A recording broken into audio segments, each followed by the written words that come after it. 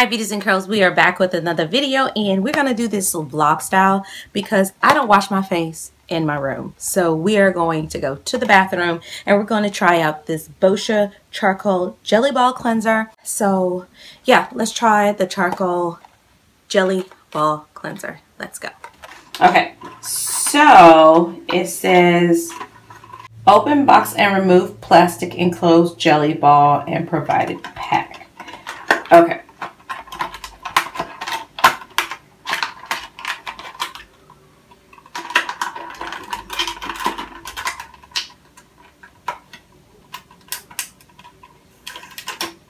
Okay, so now that I have taken it off, there's a little sticker at the top.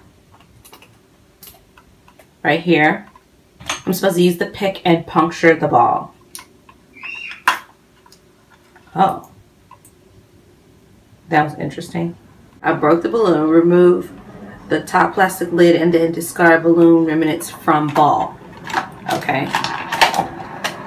So now I have the ball like this. And now it's telling me, now I'm supposed to open it. This is so cool. Just the process of this, you know? Okay.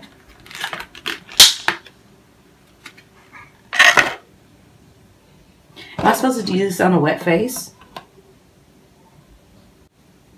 To cleanse, remove jelly ball from plastic base and massage it directly over wet face in gentle motion, circular motions. Okay, so I'm gonna put that there and wet my face. Okay, so I punctured it.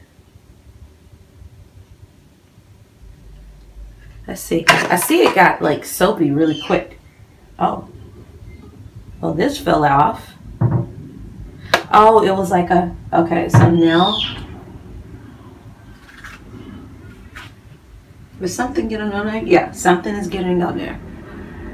It feels good. this is cool.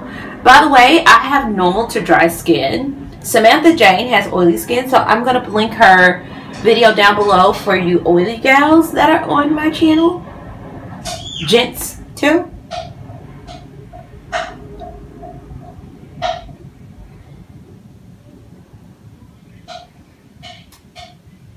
I mean, I feel like Asian skincare is so innovative anyway. I feel like you do get more of a lather this way. I just want to, I was curious because I think Tati has normal, um, Tati has combination oily skin and Samantha has oily skin, what would this be like for someone who's dry? And by the way, this has, it has 3.52 ounces of, I guess, product in here. So I'll be curious to see how long I can use this as well. Now, storing, it's going to be very interesting to me. I'm going to keep it in the jelly ball. I'm to see what the storage says on this. Okay, so I'm to put it back in the ball. Now, I feel like I have enough product to, to use it. One thing I can say is most of the time with foamy cleansers, I can tell usually if it's to dry my skin out. And this one is very thin. This is like a thin foam. Let me get my neck too. This would still be something good that you could use to massage and then go in with your like Clarisonic or if you have a spin brush or you have the Foreo Luna. This is something that you could still use. You just put the product on. Because it's innovative and it's great. But the biggest thing is does the product on the jelly ball really cleanse your skin and do what it's supposed to do. Like that's what you want.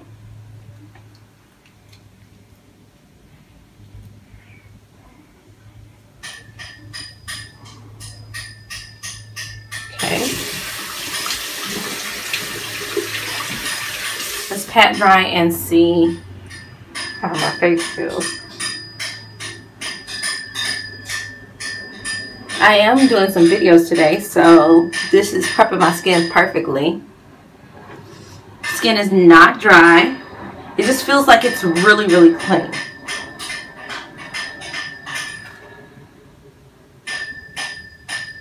Of course, this is a first impression. I won't be able to tell. Skincare is kind of iffy because some things you can tell right away, some things you can't. Now, I can tell you that my face feels squeaky clean.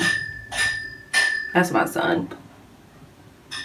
My skin feels squeaky clean and this is a charcoal so this is going to be like this is going going to like pull out impurities it's an active charcoal in this Boscia jelly ball cleanser I feel like it's doing a dual thing especially for normal to dry skin usually charcoal does dry out the skin so you have to be careful in conjunction of how you use it. I do have some charcoal face mask but this is just like I feel like something that's going to keep the skin constantly clean. Okay, so this product does contain latex. So if you are allergic to latex, this is not a product that you want to put on your face because it will break you out. I've had people that I know that break out with latex. So it does contain latex and it does have that warning on the box, which is good. I think I'm going to keep the needle because I don't know.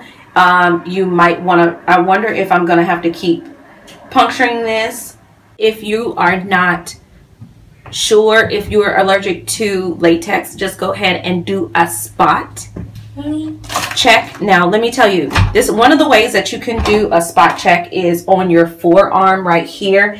It is kind of like the same um, texture as the skin. So a lot of times if you want to do to see if you're allergic to something, I highly recommend you using your, not your forearm, but the inner part of your arm in order to test product if you are unsure. But it does have that warning and it does say if you're not sure to please test it. Now this one is avoid your eyes. So some people, I mean, you could go all over your face, but I'm not one to like put it over my eyes because this is supposed to be a cleanser, not a makeup eye makeup remover. This is again a cleanser. So you want to go in with the eye makeup remover or a um, to break up the makeup before you use something like this. Boscia does have an oil cleanser. So you want to go in with something like that before you go in with a product like this. I would use it then, but most of the time I would probably use a product like this at night just because I like to do my face treatments and everything at night. So it does say for this product to avoid sunlight. So you want to keep it in a dark place. Now it did not, the only thing is I'm going to check out the website. On the box, it did not say about restoring this in here, but I would, it would only make sense for you to restore it in the, uh, in the container just because it's a weird cleanser product. I can't see how would you store this in your bathroom? Like this is not the typical soap dish. Hold up, you guys. So I have to say this, that after a couple of days of using this product, it was just way too bulky to store. And then not being in sunlight, I just felt like it was going to dry out way too quick. So this is not going to work for me. Uh, size. So, and it says avoid sunlight. So I'm thinking that it's supposed to stay in here for storage. And this is honestly $20 this is kind of like a spa type of product.